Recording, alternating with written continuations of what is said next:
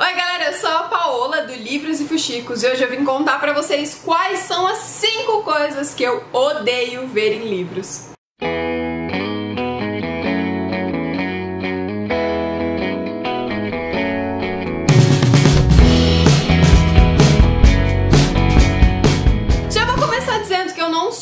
Time de odiadores anônimos. É muito difícil eu não gostar completamente de um livro. Vocês que acompanham o canal há algum tempo ou acompanham as resenhas do Livros e Fuxico sabem que na maioria das vezes eu tento tirar alguma coisa positiva da leitura, mesmo que ela não me agrade 100%.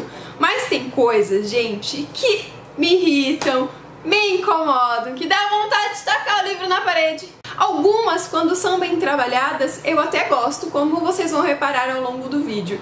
Mas não tem como negar que eu fico com muita raiva, que eu fico muito brava quando os autores colocam certas coisas e eu só consigo pensar, meu putz, pra que isso? Primeira coisa que eu odeio é encontrar traição em livros de romance. Eu acho extremamente desnecessário quando o autor coloca esse tema, que é um tema difícil, é um tema tabu, dentro do romance só para colocar, só para gerar conflito ou para fazer o mocinho ter que ser perdoado pela protagonista feminina, ter que correr atrás dela, ter que implorar o seu perdão, tem que beijar o chão onde ela pisa. A gente gosta de ver o protagonista masculino sofrer? Gostamos sim, não vamos mentir, mas acho completamente superficial quando aparece uma traição aí no meio do caminho, só realmente para encher linguiça. Tanto é que tem um livro em especial que eu sei que muita gente não gosta por causa da traição, que é O Noivo da Minha Melhor Amiga. Eu achei que nesse livro aqui a autora abordou a traição de uma forma verdadeira, sincera, colocou esse aspecto, debateu sobre isso, trouxe uma veracidade e o, fez o leitor parar para pensar até onde uma traição seria perdoável ou não e até onde é necessário, é possível ir em nome do amor verdadeiro. Então, tem meio termos, gente, a gente pode usar isso no livro desde que seja debatido de uma forma real e sincera. Sabe o que eu também odeio? Triângulos amorosos. Não aguento mais essa coisa de ter um triângulo amoroso pra história ficar legal. E sabe o que me irrita, gente? É que nunca é um triângulo amoroso fundamentado. Nunca é assim, sabe? Realmente a gente fica na dúvida e pensa, putz, quem será que ele ou ela irá escolher? O terceiro elemento fica ali só pra gerar conflito, só pra gerar mimimi, só pra fazer ciúmes. Odeio quando a terceira pessoa tá ali só pra fazer ciúmes. Desnecessário. Não gosto de triângulos amorosos. Tanto é que tem um dos romances que são mais cultuados, mais falados, mais amados pela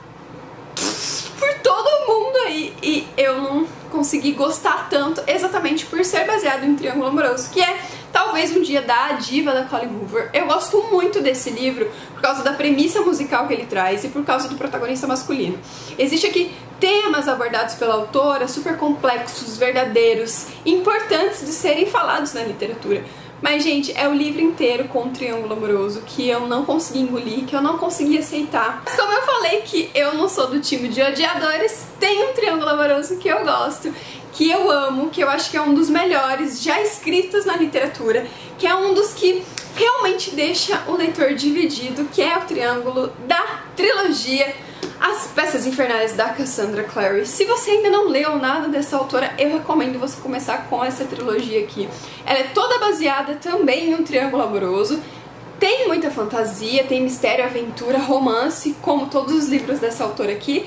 E o melhor de tudo, esse triângulo amoroso é baseado em três pilares que fortalecem uma mesma amizade. Tudo, antes mesmo do romance surgir, é baseado na amizade desses três. Isso é incrível, isso é maravilhoso, isso dura anos, isso cativa, emociona, faz a gente chorar horrores. Também não suporto, e é uma coisa que é até engraçada eu falar, porque vários dos meus livros favoritos existem ou são fundamentados com base nesse aspecto que é personagens masculinos irritantes e dominadores. Gente, eu não suporto mais essa onda de mocinhos que não são mocinhos. Mocinhos que são cafajestes, que são ríspidos, que tratam mal a mocinha no primeiro contato e que depois vão descobrir que estão apaixonados. Tanto é que no vídeo que eu gravei de livros, que eu não gostei, eu falei sobre isso em After. Esse acho que é um dos maiores discórdias aqui no canal. Muita gente briga comigo por eu não ter gostado desse livro. Mas uma das coisas que mais me incomoda é a personalidade do protagonista masculino. E a proposta aqui, mesmo que eu já saiba que nos próximos livros ele vai explicar as motivações, vai se transformar, que a protagonista vai amadurecer. O que eu sinto nesse livro é um relacionamento submisso em que a mocinha deixa o protagonista masculino tratar ela da forma que ele bem entender. Isso me incomoda muito. Então, tô meio enjoada de mocinhos assim. Outra coisa que eu odeio é personagens preconceituosos. Vocês que acompanham o canal sabem que eu sempre trago livros indicações que falam sobre temas tabus, que falam sobre quebrar preconceitos, que falam sobre aceitação do diferente, entender o diferente, entender as motivações por trás das pessoas. Então eu odeio, gente, sério. Isso é uma coisa que me irrita muito. Protagonistas que são preconceituosos, que são machistas, que são horripilantes. Uma protagonista que me irritou muito, mas que eu entendi que a intenção da autora foi criar ela assim, para depois ela se transformar, para ela modificar o seu ser e começar a entender o mundo ao seu redor, é As Quatro Estações do Amor da Lisa. É um romance de época, uma das minhas autoras preferidas e traz uma mocinha completamente preconceituosa que não aceita o amor oferecido para ela de bandeja apenas por esse homem não ter posição social e ela querer realmente casar com alguém nobre, com alguém de título. Às vezes eu quis tacar esse livro na parede. Então é algo que me irrita muito, que eu fico angustiada, que começa a me dar calor, eu começo a querer bater na protagonista. E por último, e nem por isso menos importante, sabe que eu odeio também? Continuações desnecessárias. Eu acho que isso é um outro boom aí do momento. O livro fez muito sucesso, a galera gostou, vendeu muito, as editoras vão lá e falam pro autor, escreve continuação. Só que às vezes não tem necessidade, não tem pano, não tem história, não tem conflito. E é o um exemplo de uma continuação que não era esperada, que não precisava, é aqui, a continuação de A Seleção. Os três primeiros livros são maravilhosos e os dois últimos são tipo, blé, pra que, que eu li isso? Não é ruim, tá, gente? Porque eu sou do time que acha que tudo que a Kiara Kess é muito escreve, é muito gostoso de ler. Mas ainda assim, não tinha necessidade. Gostaram do vídeo de hoje? Agora eu quero saber o que vocês não gostam de ver nos livros. Deixem aqui nos comentários. Comentem também pra mim livros que falam sobre temas tabus e que às vezes vocês acham que gostam, às vezes vocês acham que não gostam. E se você gostou desse vídeo, não esquece de digitar o seu joinha. Se gostou mais ainda, se inscreve no canal para sempre receber em primeira mão as novidades.